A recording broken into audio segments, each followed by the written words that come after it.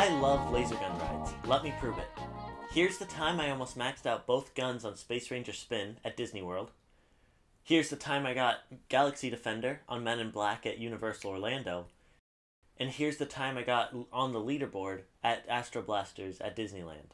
So how does a laser gun like this work? First instincts say that it's going to be a red dot laser pointer, like a cat toy, pointed at a photoresistor, that's the target. When the laser hits the photoresistor, the resistance across it drops significantly, and we can sense that the target's been hit. But the target like this, a photoresistor, is going to be sensitive to any flashing light, so any flashing light from the show scene is going to trigger the target, and that's not what we want. So instead of relying on visible light for the hit detection, we're going to rely on infrared light for the hit detection, and then the red dot laser will be used just so the player can actually see where they're shooting.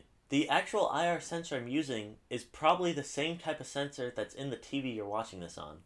A TV uses this to receive commands from the TV remote, so when you press a button, that sends an IR light signal and the TV picks that up and does the associated action. Because these IR LEDs are designed for TV remotes, they have a really wide beam angle. This isn't ideal for our project because you could shoot 3 feet away and you'd still hit the target. So to narrow that beam angle down, I put the LED in the barrel of the gun further down. The walls of the barrel restrict the beam angle.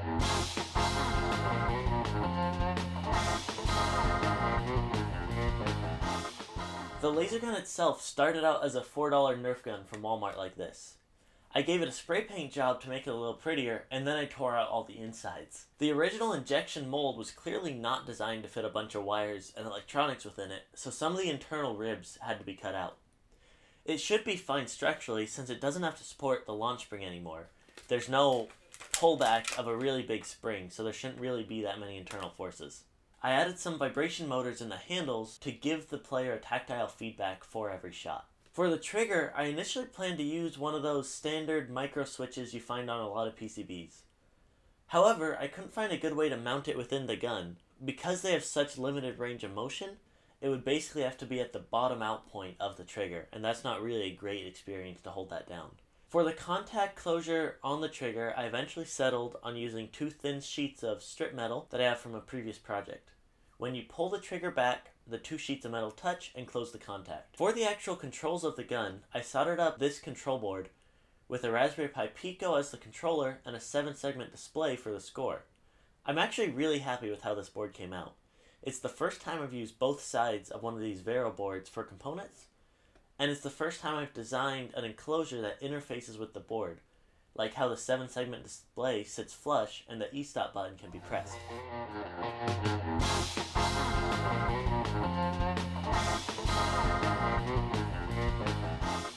So we have the gun, and we have a target, but now we need some way for this all to communicate to the central control system of the ride. So here's how that works.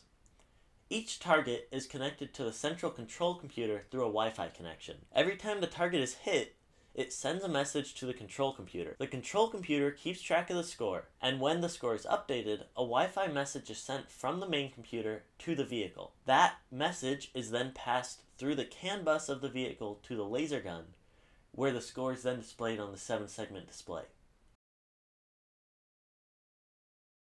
Information from the gun such as when the trigger is pulled or the e-stop button is pressed, is also sent from the laser gun to the vehicle controller through the CAN bus. The vehicle can then send that information to the main control computer over Wi-Fi.